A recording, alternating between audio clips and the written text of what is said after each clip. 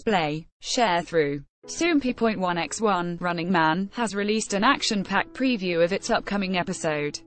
See also, things take ironic turn on Running Man, due to extreme weather conditions on the next episode of the SBS variety show. The unlucky Lee Kwang-soo and Lee Da-hee will finally undergo their frightening wing walking punishment in England.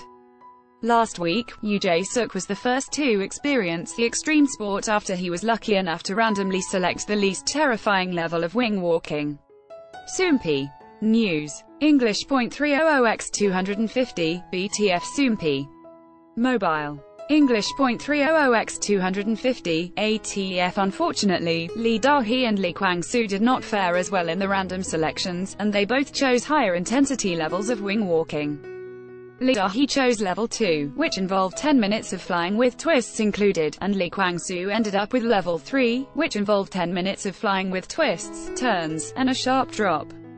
The new preview features a sneak peek of the two actors' spine-tingling wing-walking experiences, with the other cast members commenting from below, this is definitely different from Yoo Jae-suk's flight. So this is what a twist looks like, and, wow, this is a totally different level of intensity from before. The preview also teases viewers with a glimpse of the other group's trip to Switzerland.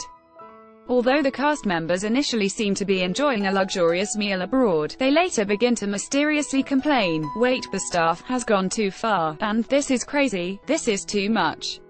The clip then shows Haha looking terrified as he crosses an extremely narrow bridge. The next episode of Running Man will air on July 8 at 4.50 p.m. KST. In the meantime, check out the preview below. You can also catch up on the latest episode of the show here. Watch now.